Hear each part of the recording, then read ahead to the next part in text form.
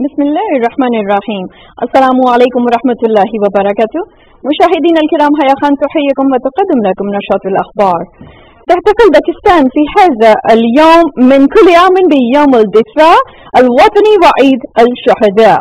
فالسادس من أيلول سبتمبر هو يوم تقديم التحية والتعظيم للشجعان هذا الوطن. ودعم في هذه المناسبة الاحتفالات في عموم البلاد. يددد أبناء الوطن من القوة المسلحة وأن عموم الشعب الباكستاني العزم على التضحية في سبيل الوطن وأمنه. وقد حاز الاحتفالات حاز اليوم العديد من المسؤولين من العسكريين ومدنيين ومن المواطنين أيضا. وزوار عبد الرحاء الشهداء في مختلف أنحاء باكستان حسب قد تم وداع خليل الزهور على دري الشهيد الراي طفيل أحمد والشهيد النقيب محمد سرور والشهيد العقيد شير خان والشهيد الرايد رجع عزيز بطي ونصب الشهيد الرايد محمد أكرم. وفي سياق المتصل زار رئيس الوزراء حكومة تفريف الأعمال أنور كاكر النصب التذكاري الوطني ووضع من الوفد مرافق كاليل الزهور وتلو الفاتحة على أرواح الشهداء الذين دعوا بحياتهم دفاعا عن الوطن.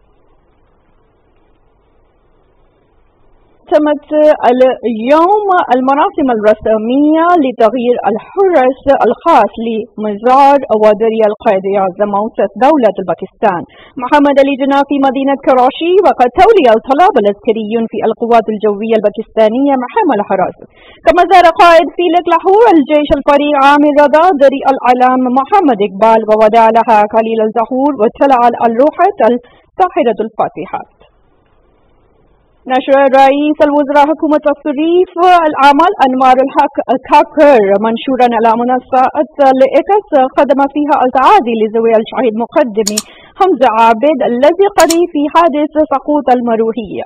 داعيا الله يرفع درجاته في جنة هذا وقد تعارضت مروحية تعبير القوات البحرية الباكستانية لحادث إلى سقوطها وذلك في الرابع في سبتمبر الجاري. وقد استشهد على متناحى ثلاثة أفراد من بينهم المقدم حمزة عادل لروح والروح ذي ملاية الرحمة والمغفرة.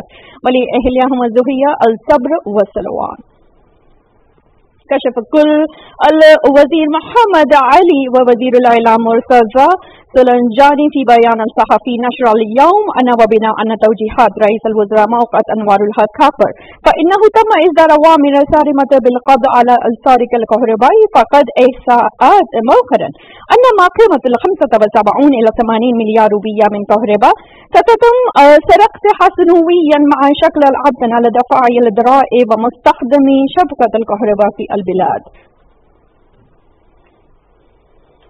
قال رئيس الجمهورية الدكتور عارف علوي فيلك لها مع مسؤولي غرفة التجارة والصناعة في مدينة لاهور إنه على مجتمع الأعمال في باكستان أن يلعب دوره في استعادة اقتصاد باكستان عفيفه.